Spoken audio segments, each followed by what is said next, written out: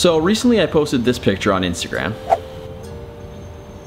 And the feedback was pretty crazy. Everybody wanted to learn how to do it.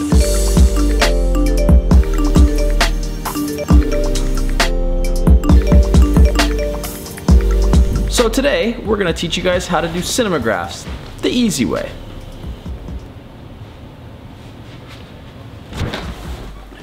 Okay, so you're gonna need two pieces of equipment to make this happen. One, obviously your camera, and two, a solid tripod. Now my go-to is a Manfrotto. I'll link one in the description below. Super affordable, great build quality, and honestly, Christmas is right around the corner. You might as well just treat yourself to an early Christmas present. Now let's get to making this thing. All right, first things first, set your scene. Set up your camera on the tripod and frame your shot because once you frame the shot, you can't move your camera.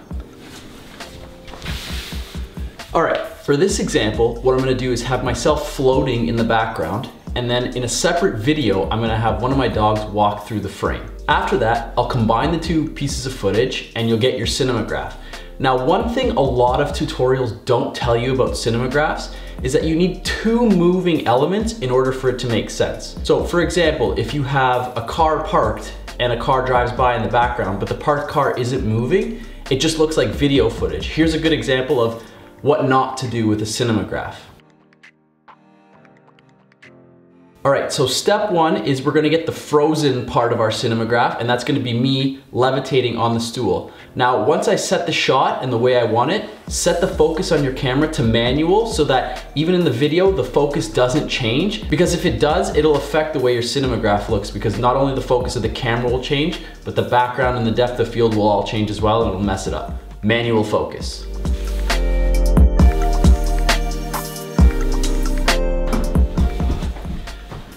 All right.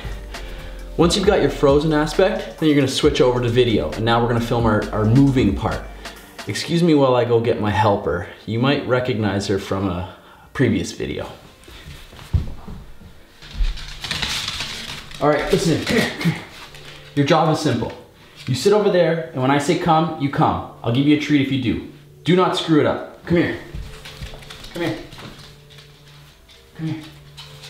Stay, stay. Stay! No, no, oh my god! Sit down, I said. Sit, stay, stay. All right, come here, Mia. All right, we have the footage. Let's take it into Photoshop and Premiere to finish this thing up.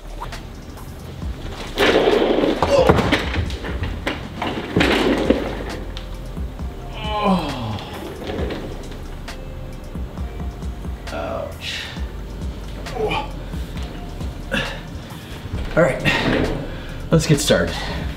All right, we're gonna start by opening up Premiere and creating a new sequence. Just hit Command N. You're gonna go to Digital SLR, 1080p, 24 frames a second, because that's what we recorded it in. And you are gonna import your footage, Command I. So I believe it's this one. Just hit import, and then you're gonna drag that onto the timeline. And once you've dragged it onto the timeline, you are going to find the part where you want the motion. So it's right about here. I'm gonna crop that in to the front. And here she comes, there she goes, and we're gonna stop it right there. So we're gonna hit W to cut it there. So here's what our clip looks like, the moving part of the, the clip anyway what you're gonna do next is find the part of the clip where the motion, so in this case, the dog, is the highest in the frame. So right about here, you can see her ear is like the highest, at the highest point that it reaches. So we're gonna take a screenshot of this right here and just save it on the desktop. We'll call it the uh, screenshot. Boom. All right, from here, we're gonna take that screenshot into Photoshop and we're gonna take the frozen part of the photo and add that to the picture, so. Okay, so we are gonna open our raw file and we're not actually gonna touch any of the settings right now. We're just gonna open it up in Photoshop And then the next thing we're gonna do is hit Command or Control O and open up our Mia screenshot.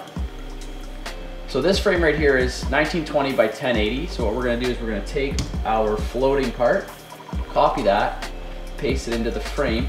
And here's the tricky part, but it's not that bad. You have to scale your image down to fit your 1920 by 1080. So what I like to do is set it to about 30% and move it and just scale it down until the static parts of both the video screenshot and your frozen frame line up. Once they line up, our job is pretty easy from there.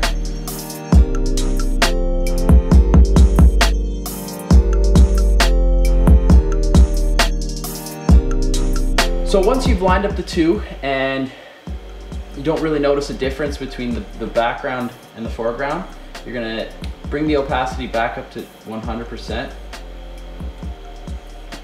And here's the easy part.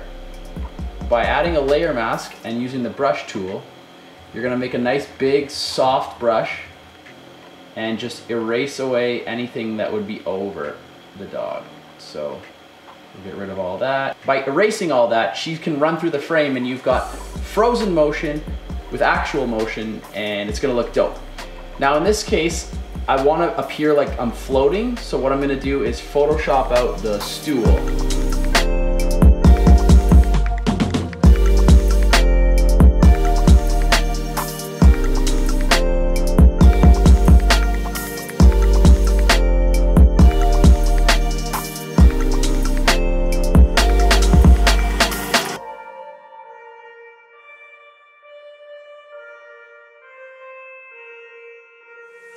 All right, once you're happy with your photo in Photoshop, you're gonna remove or hide the background layer, the screenshot, and you're gonna save that new picture as a PNG. It should have some nice soft edges that you won't notice once you overlay it onto your video.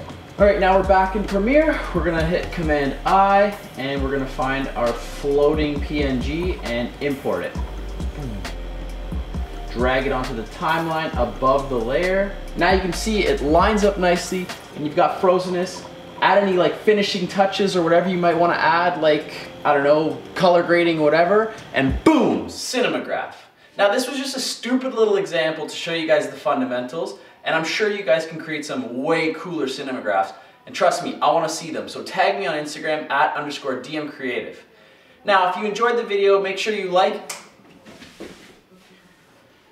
Listen, you stuck in here for this long, you might as well just like and subscribe the video. I know we'd both appreciate it.